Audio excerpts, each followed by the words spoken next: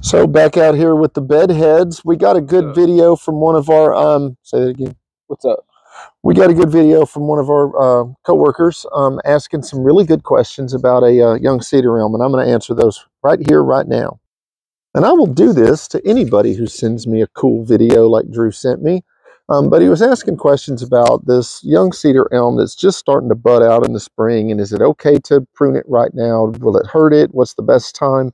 What's the worst time? Can he limb this up? And um, and what would be our recommendations on um, on pruning this tree? And um, to answer that those questions uh, one at a time, you can absolutely prune a tree that has um, that has just recently budded out. Um, the the the times that we don't normally recommend pruning is if a tree's under a lot of stress.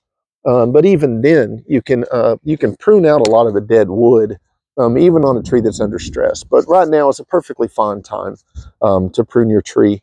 Um, he had asked if we could, uh, if these lowest limbs um, could or should be removed um, because of uh, possible uh, interference with the mowing. And the short answer to that is I would hold off as long as I could from removing it from here. These lowest branches are considered temporary branches. Um, on any tree, we're going to look at where is the lowest permanent branch. And honestly, on a tree this small, they haven't even shown up yet. Like where the lowest branches will be when this is mature are probably above what we're seeing right now. So all of this is considered temporary branches. Um, but what these are important for is proper trunk taper. Um, these help a lot as the tree develops. So what we would recommend is, of course, where we have two branchlets coming off of the exact same spot, I would uh, eliminate one of those, um, and most likely the one that's um, that's causing any interference with with maintenance. But I might take one of these off. Um, I might take anything in here that's crossing or rubbing but I would leave these. If I needed to get them out of my way for mowing, I would do it from the end of the branches through what we call a reduction cut rather than a removal cut. I'd remove one of these. Um, and then one of the most important things on a lot of these trees is always looking at its proximity to the house. Um, this is roughly about 15 feet from the house. The mature width on this tree is 40 to 50 feet in many cases. So one of the things we're going to want to do to this tree, he had mentioned this split right here. That's actually one of the things I would first want to correct. Uh, cedar elms love to form this codominant leader. And one of the things I would encourage on a tree this young, this close to the house, is to prune this to a strong central leader. And it takes some work with a cedar elm. But one of the first things I would try to do is mitigate this emerging codominant. This is the area that as the tree matures is most likely to split. So we want that to be tall and straight with a good scaffold of limbs coming off.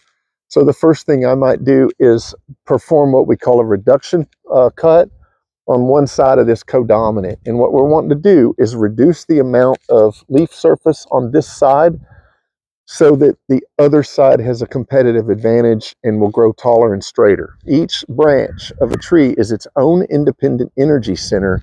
If I remove a lot of the foliage off this one side, it won't grow as fast as the side that I don't do that on. So there's a few areas of this tree that I might, as it's young, go ahead and try to get this thing to where it's tall and straight by removing some of the growth off the competing leaders in trying to get this thing to go tall and straight. Beyond that, a tree this young, we're looking at doing what we call a crown cleaning, where we're going to remove any of this crossing, rubbing.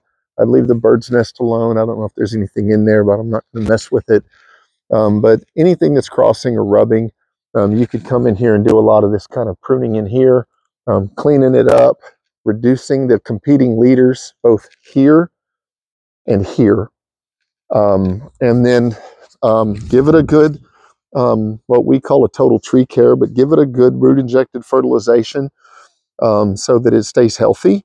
And um, you should be able to uh, to trim this every probably two to three years. I would try to do a young tree like this yearly. It makes it much, much easier. Um, there's very little limbs that come out of it. And the more you can prune, prune that tall, straight central leader, the better behaved this tree is going to be and the better relationship it's going to have with the house.